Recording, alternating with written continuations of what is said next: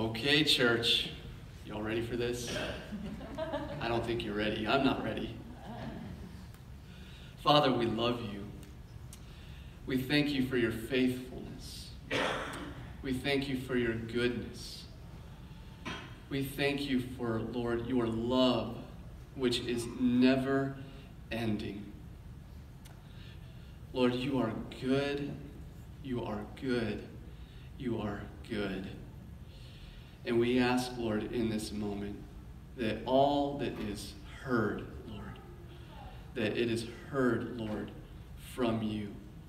That you would open our ears and our minds and our hearts, Lord. That you would center and align our spirit with yours, Father God, to hear what you would have to say to us and respond to it rightly. For you are faithful and you are good. And the church said, Amen.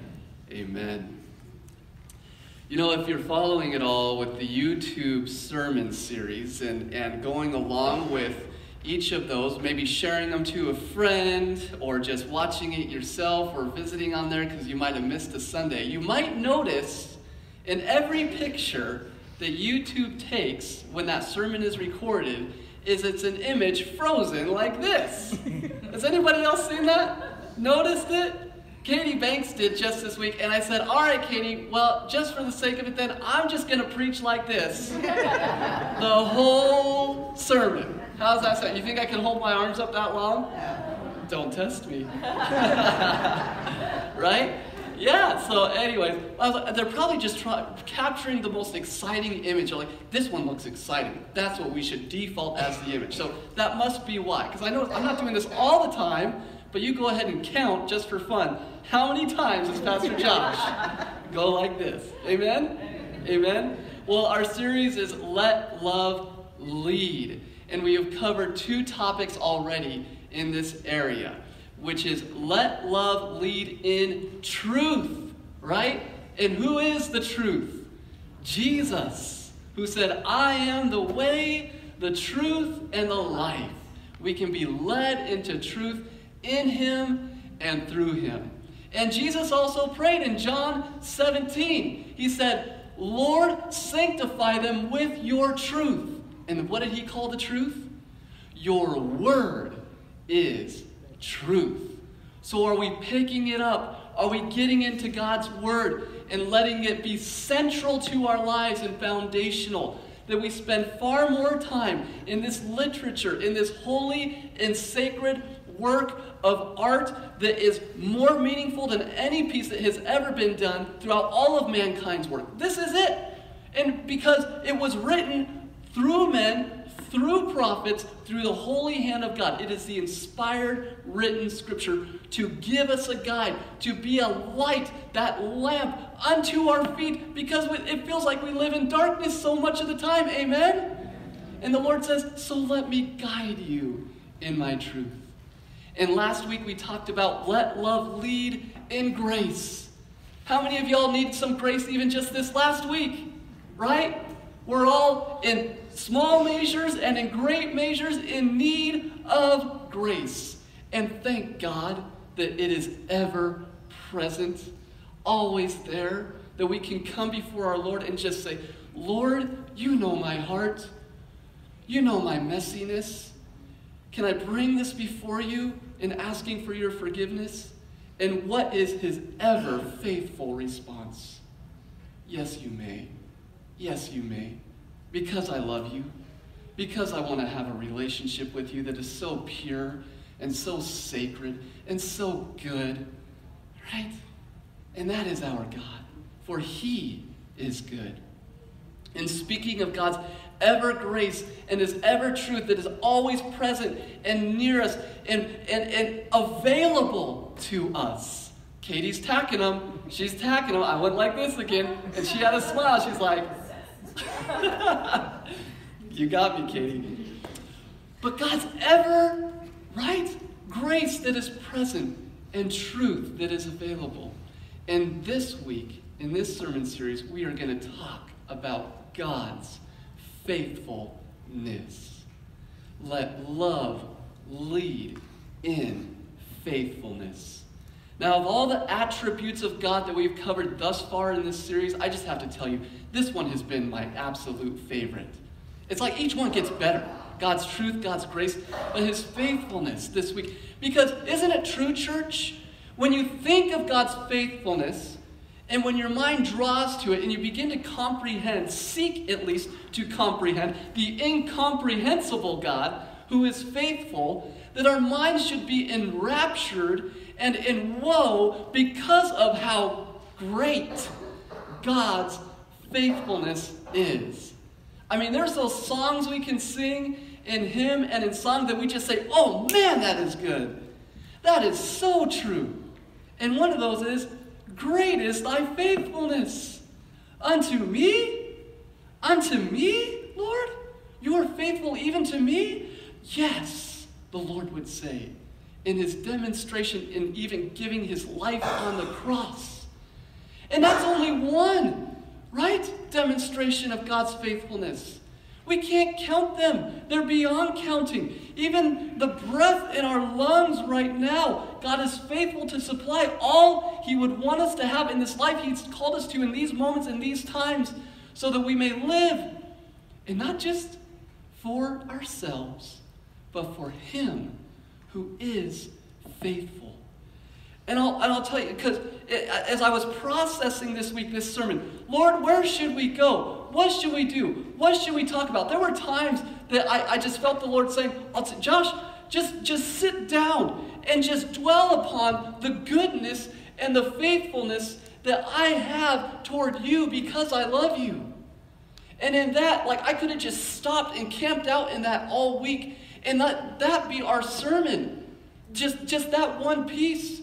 That if we go home and just count the Lord's faithfulnesses towards us, and I'm, I'm using it in the plural. You've probably never heard it in that English word because it's not an English word. But God's faithfulness is towards us, that they are beyond anything that we could ever measure. And we could just fall back into his rest and say, Thank you, Lord. Thank you, thank you, thank you for your faithfulness because you are faithful. You know, we, we live in many ways in a faithless age and in a faithless time. I think that's one reason why the draw can be so deep into this. Because we're all looking for something that we can invest into, that we can pour our whole lives into, and know that it's not going to be in vanity, or it's not going to betray us, or it's not going to come back and say, I wish I hadn't given as much to that as I did. Anybody ever been in one of those situations? Right? Where you invested yourself into something, right? And the return did not seem as great as it should have been with what you gave. Have we ever been there? It's okay. It's fair. That's the world we live in, right? The world's not a fair place, right? But with God, and whatever we may choose to give over to Him and pour out in our lives to Him, for Him, I'll tell you, you will never regret it because He is faithful, right? To pour back in immeasurably more whatever we may give. We can't outgive God. Amen, Cindy? You can't do it. You can't do it. But we should seek to. We should certainly seek to. So this idea of the idea, not just idea of faithfulness, but the reality of faithfulness in God. There, there's again so much that could be comprehended. Just in Matthew chapter 5 alone, when you step into the Beatitudes, great portion of Scripture. There are a few examples we could draw out towards God's faithfulness just in those verses. In Matthew chapter 5, verse 4, it says, Blessed are those who mourn, for they shall be comforted. It also says in the Psalms that God is near those who are, in the, are brokenhearted. Right? He's with you in your distress, with you in your sorrow.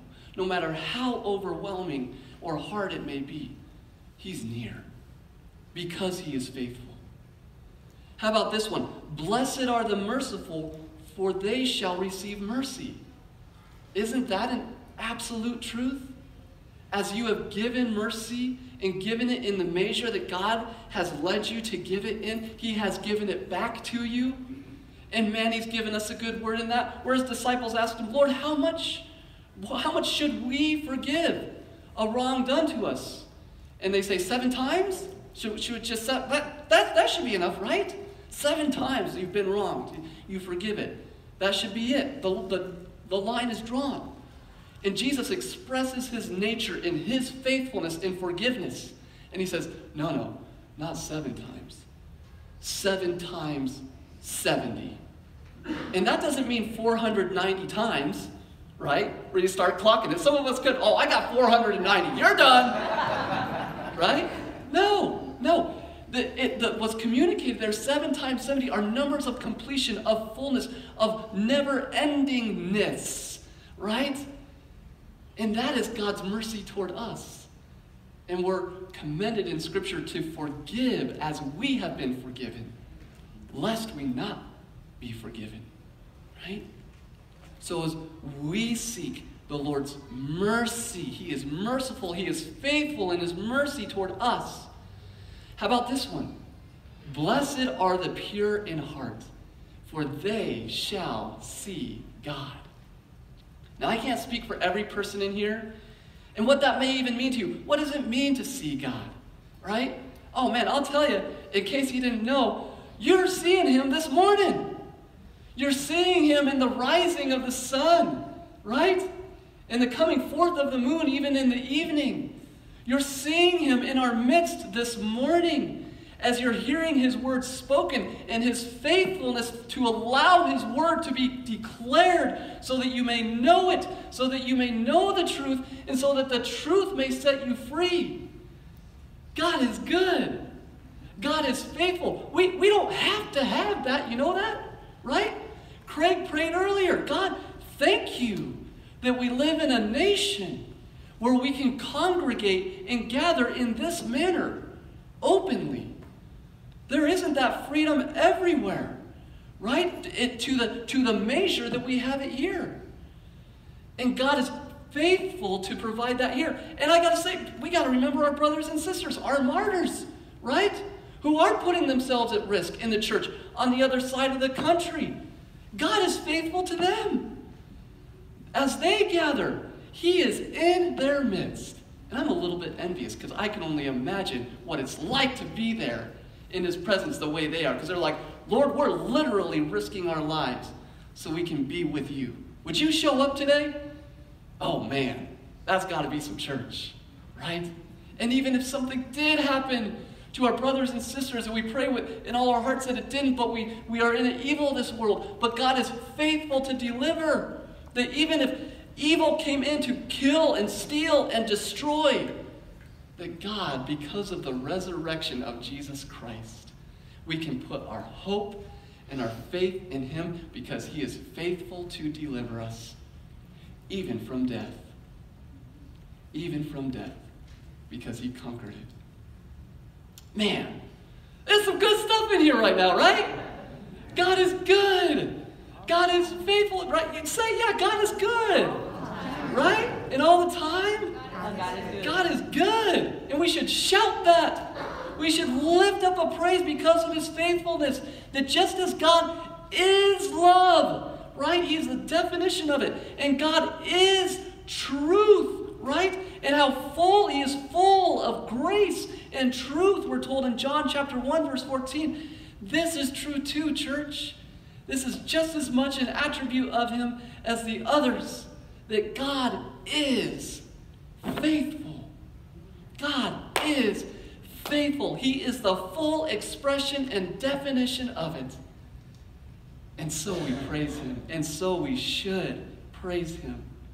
And again, so no doubt, and I'm, I'm saying this a, a number of times for a reason. It's countless. The faithfulnesses of God are countless. It says in Psalm chapter 92, verse 2, it is good to give thanks to the Lord, and to sing praises to thy name, O Most High, to declare thy loving kindness in the morning and thy faithfulness by night. question. And not just a question for, for you, a question for me. Are we doing that?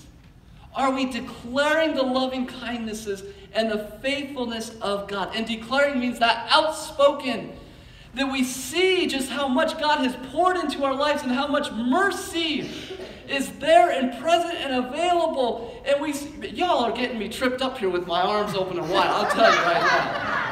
I, am seeing about 50 of you right now counting these. Because, okay, that was number 48. It's on its way. We're not that high yet. No, okay, I'm getting there. getting close. I'm getting close. All right. Good. Oh, let's get back to it. Yeah, you all ready? Going back to it. But declaring, declaring, what does that mean? To be outspoken about it. That when you see and you and you feel and you know that the goodnesses of God and the immeasurablenesses that they are, that you just something wells up in you. And you begin to say, I, I can't keep it in anymore. Do you know how good God is? Cindy, do you know? Do you know? You know? Uh, uh, right? And you absolutely, but at the same time, no, you don't.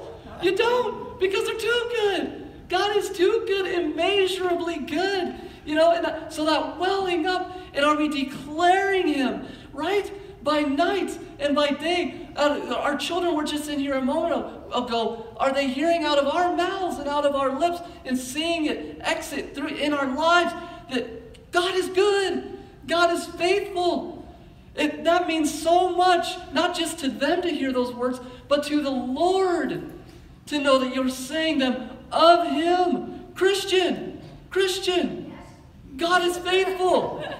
God is faithful. Okay? Good. Amen? Declare it. Declare it to the children. Declare it in your midst. Say it right now. God is good. Right? Declare His praises. God is good. You know, and, and we can think about this even historically in, in who God is.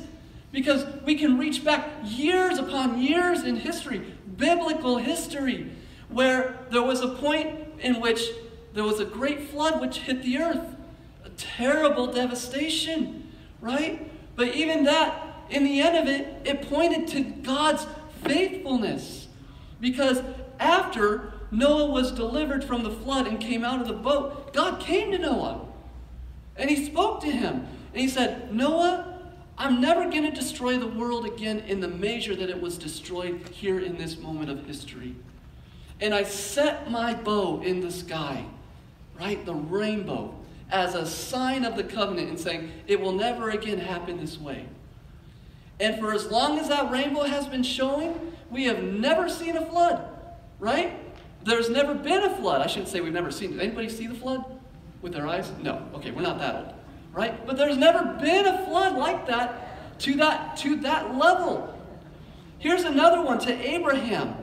When, when God was establishing his covenant with Abraham, he said to him, Abraham, look up at the stars. All right, and at this point being, Abraham still hadn't even had a son, right? And he said, Count the stars, Abraham so shall your descendants be one day. Right? it's one of those things where you look, okay, one man, how old is he? He's obviously not going to have that many children, right? But he had one son, son of the promise, who was Isaac. And then through Isaac, the, the 12 tribes of Israel were born. And then that stretched out, right? And But still, even, that probably wasn't at a point where you can't even number it like the stars in the sky. Because God's promise was fulfilled to Abraham in showing his faithfulness, and that who also became the children of Abraham through Jesus Christ.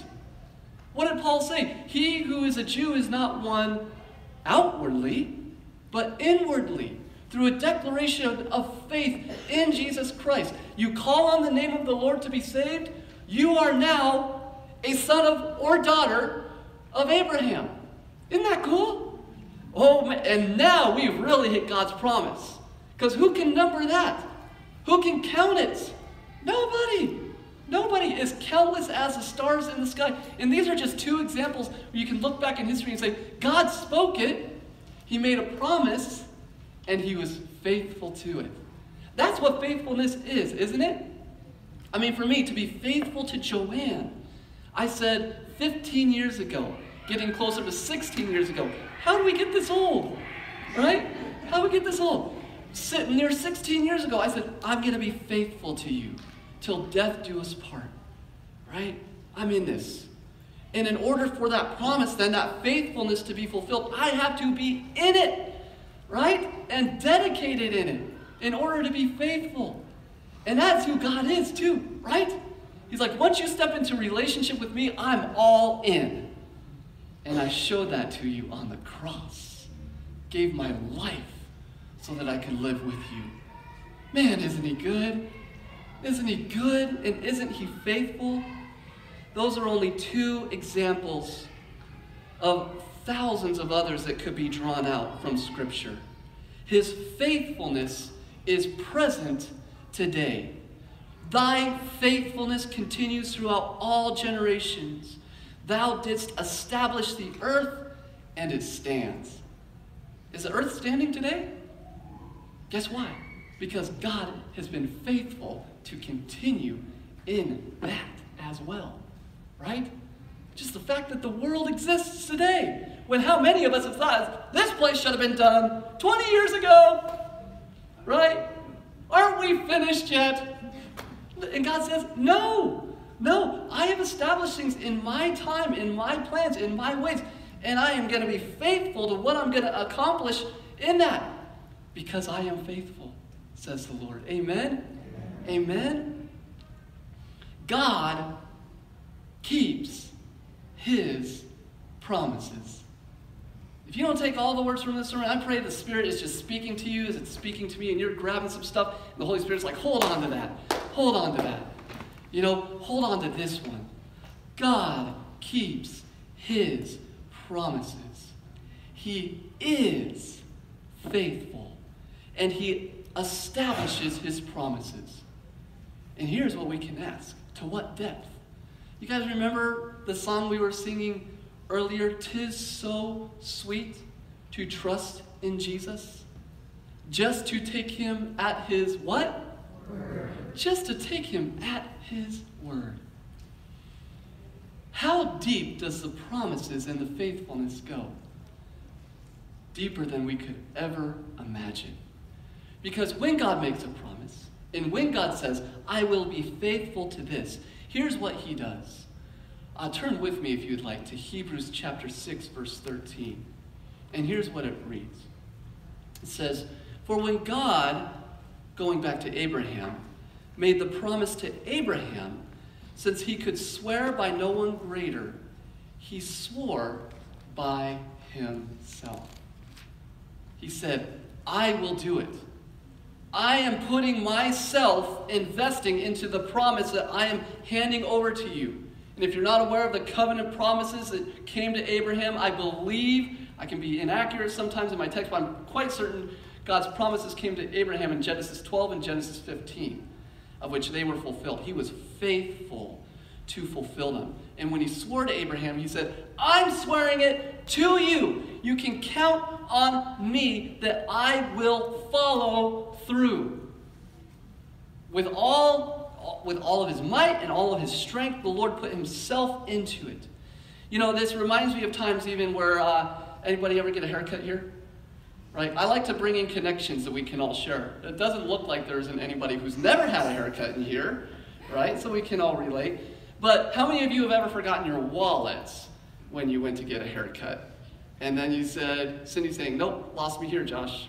Not me. Well, I have more than once. And there are times where I had my ID in my wallet. I remember I had my high school ID. And I, I said to the Supercuts barber at the time, I said, uh, I left my wallet at home. I can't pay you right now. Now, Supercuts is a franchise, so you don't mess with these people, right? Franchises got power. They'll cut your hair, but if you don't pay them, they'll cut you. Right? That could be a tagline maybe for franchise haircutters. Right? And I said, look, terrible tag. Yeah, I think it's great. I'm to go market with that.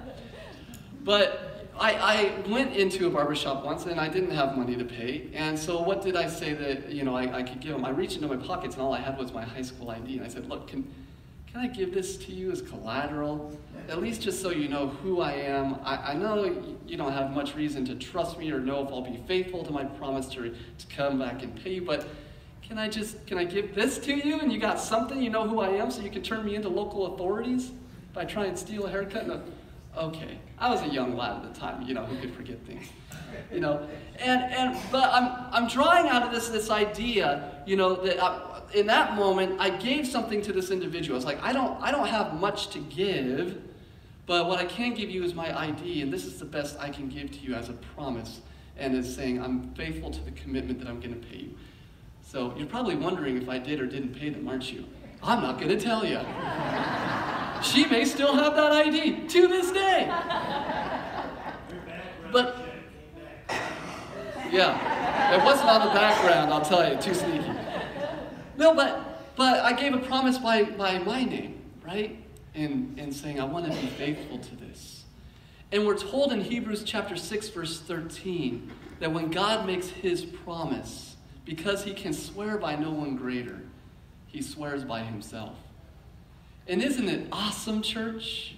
And everybody listening, whether you consider yourself part of the church or not, that he showed up, right?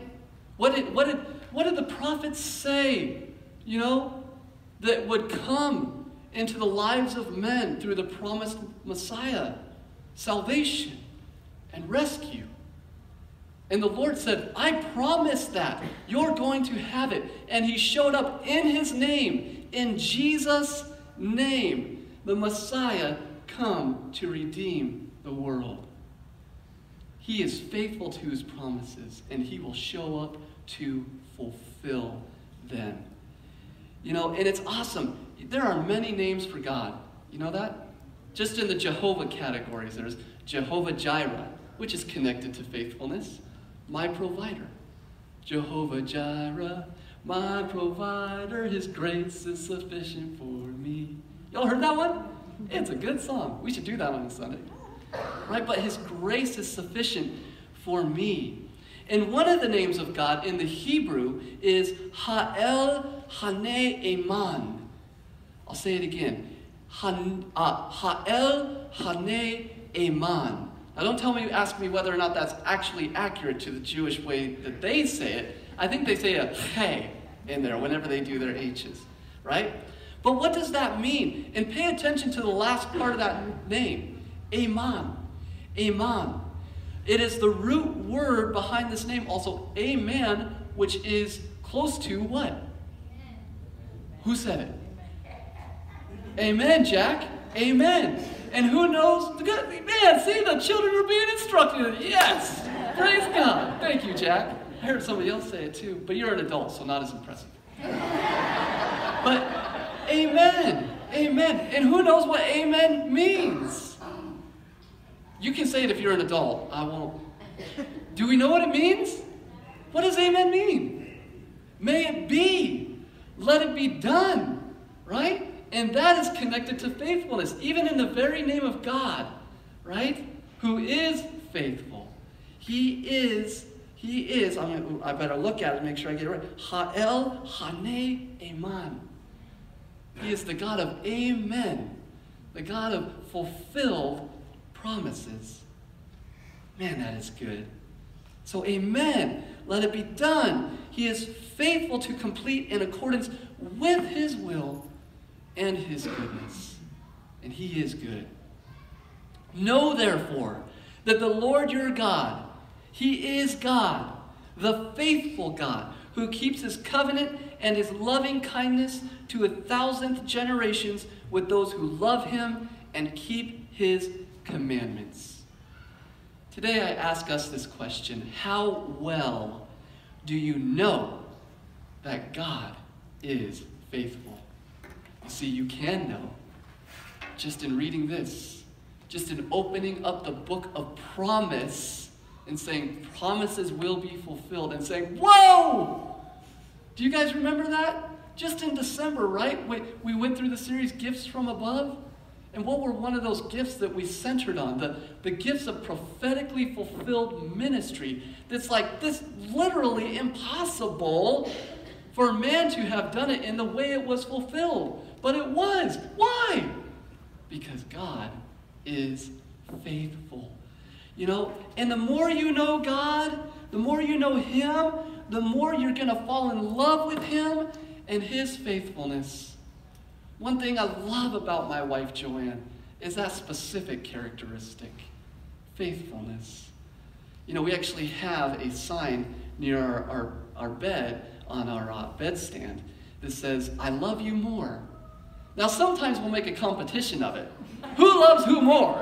Right? And whoever does, you're better than me. Right? Right? But this idea of I love you more, man, 15, nearing 16 years that Joanne and I, have been together, and we've had that, that sign sitting next to our bed for three of them now, I think, at this point. And the idea behind that is actually more so this not competition, but one that as I get to know Joanne more, and, and fully invested in that relationship. And you can, you can you know, draw this into friendship or whatever relationships you have that you're really pouring yourself into, right? The more I get to know Joanne, the more I begin to say, oh my goodness, I didn't know that about you. That's awesome. You know what? I love you even more. And each day, that love grows in knowledge and in truth and in faithfulness and in joy. Come and give me a hug. Just give me a hug. I love you. Yeah, I love you more. but I love you more. You know, and the greatest relationship that we could ever invest ourselves into is what relationship? The one with Jesus Christ, who is ever faithful who loves us more than we could ever know.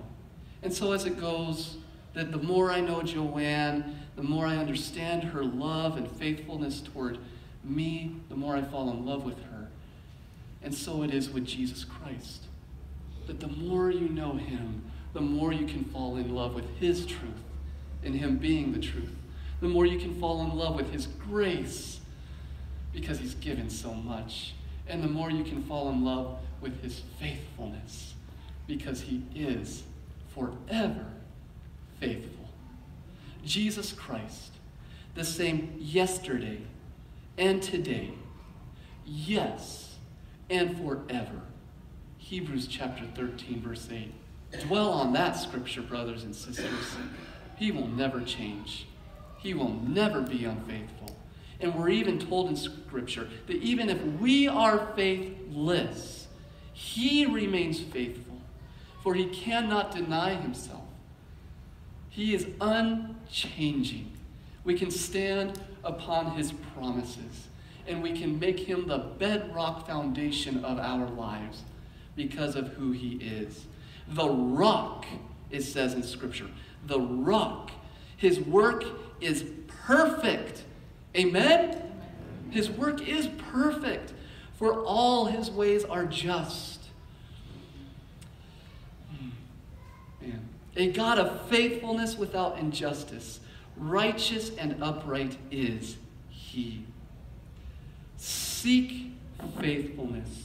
Let love lead in faithfulness, just as he is faithful.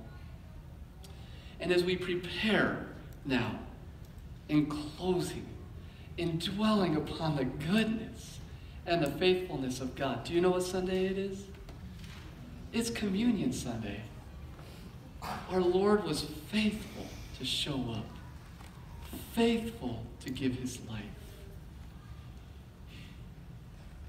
It's just one of those things that can continually blow one's mind every time we think about it. Right? While we were yet sinners, Christ came and died for us because he is faithful. And today, together as a church body, we declare his death, declare his life which was given for us. That his faithfulness is so great and so deep that it means even his own spilt blood and broken body Woe is me. Woe is me. Can we not echo the words of Isaiah? That there is the presence of God in that, the presence of God in communion. And we receive this. We prepare our hearts and our mind to receive this because, because of his faithfulness. Amen, church? Let us prepare our hearts to receive communion. Father, we love you because you first loved us. And out of that love, it comes from faithfulness, for you are faithful. Lord, we are so undeserving, yet you look upon us and say, No, it's not about what you deserve. It's just about how much I love you and how much I want to be with you and what I'd be willing to give to make it happen. And Lord, that declaration is made even in giving yourself, dying for us, so that we may be with you, that we may live with you. So, Lord, center our hearts right now into a place of right posture and giving you thanks for your faithfulness, giving you thanks for the cup and the bread, Lord, in declaring your death. And we give you praise that we are able in your name, in Jesus' name. Amen. Amen. Ushers, if